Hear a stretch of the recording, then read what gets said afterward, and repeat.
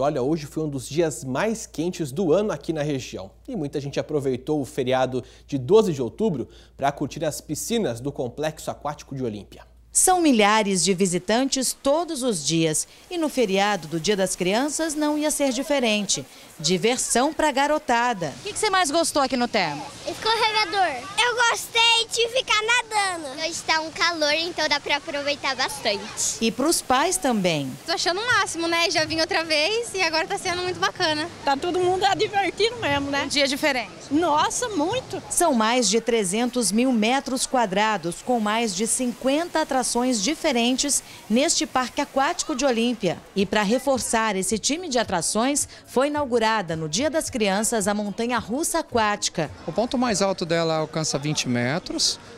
né, além de uma série de, de, efeitos especiais, tubos fechados e curvas e outras ondulações. O destaque realmente é que ela sai do mesmo nível, as pessoas não precisam subir escadas ou nenhum tipo de elevador para entrar nas boias, utilizar e retornar no mesmo local. O cantor e ator Nicolas Torres, que interpretou o Jaime na novela Carrossel do SBT, foi o primeiro a andar no brinquedo. Eu já tô amando já, o clima aqui é incrível, tá um solzão aqui, 40 graus.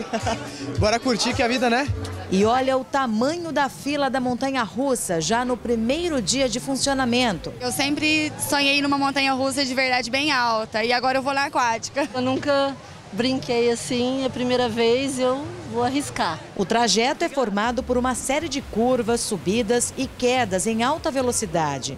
A atração foi desenvolvida pelo parque em parceria com uma empresa mexicana. Essa é a primeira montanha-russa aquática do país e a maior em extensão do mundo.